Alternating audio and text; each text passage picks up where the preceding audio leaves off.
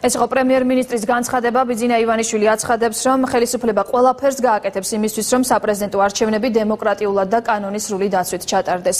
და განვაგრძობთ გამოშვებას ვინ მონაწილეობდა ბორის ფარულავას წამებაში ამ პირთა ვინაობას ვლადიმერ ბედუკაძე დღევანდელ პრესკონფერენციაზე გაახმაურებს. მანამდე კი ბედუკაძე მეცხრე არხთან საუბარში ამბობს რომ ყოფილ ხელისუფლებას სურდა ირაკლი ღარიბაშვილი ციხის სკანდალური კადრების შემკვეთად დასახელებულიყო მისი თქმით ყოფილი ხელისუფლების დროს ბორის ფარულავას სასტიკად აწამეს რათა მისგან მიიღოთ სრუჩვენება ქონება შინაგან საქმეთა ministris წინააღმდეგ და ის ვიდეო ფირების შემკვეთად და ვლადიმერ ბედუკაძის და პარტია ქართული ოცნების შუამავლად დაესახელებინა.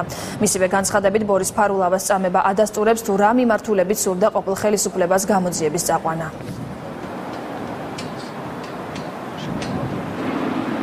ბრიფინგზე იქნება ადამიანი რომელიც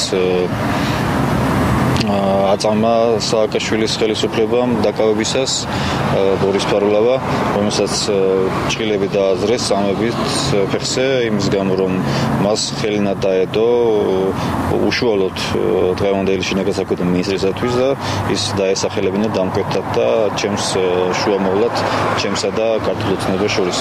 ამ ადამიანს შედანილი აქვს საჩელი პროკურატურაში სასამართლოში და მიდის გამოძიება როგორც ჩემთვის ცნობილია